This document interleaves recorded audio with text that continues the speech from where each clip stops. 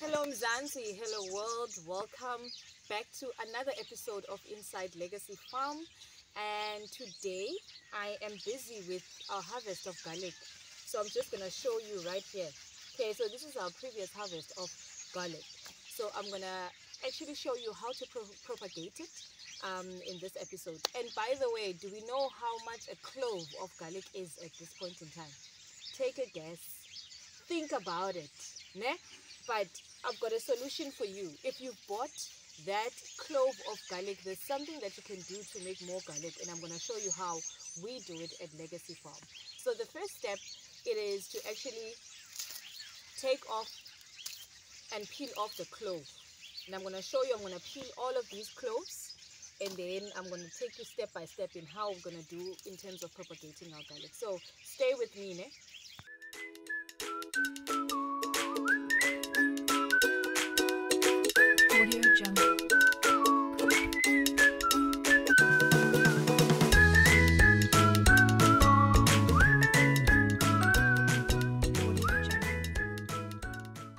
I'm gonna show you quickly what you can do at home. You can get a two liter, you know, ice cream bucket or whatever container that you can manage, um, and then you put in some, you know, nice soil, um, good soil, um, even a potting soil, and then also you can just take your small pots of your garlic, and then you just put it in there. Make sure the part that is sticking out is facing up. And then you do the same. Space it nicely. Try not to cover it all the way just so that you can see the and then it's easy for for you to see when it's sprouting. Okay so oops. As you can see this one has been facing down. So there we go. So that you can put in more see if I still have more of the small ones in here. There we go.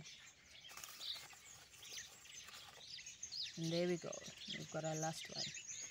There we go. So there we go. And then you're gonna just keep on watering um, with a small container, not too much, but then just every now and then you water. So now let me go and show you um, the ones that we have already. So over here we have the garlic that we planted about two weeks ago. And as you can see here they are already ready for the soil. And I'm going to take them out. I'm going to show you how they are. Okay.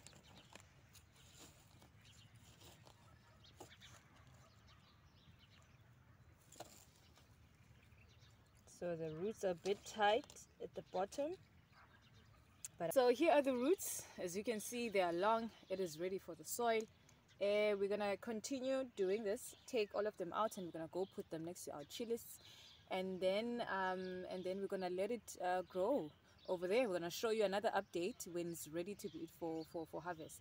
So this is how you see that your garlic is ready for um, to go to a soil and then you can transplant it and to put it permanently where you want to put, put it permanently. Anyway guys i hope you like this video. Um, and then again guys keep sharing this video. Hit the sub button if you haven't subscribed yet so that you can get notifications on our next videos. Um, and keep gardening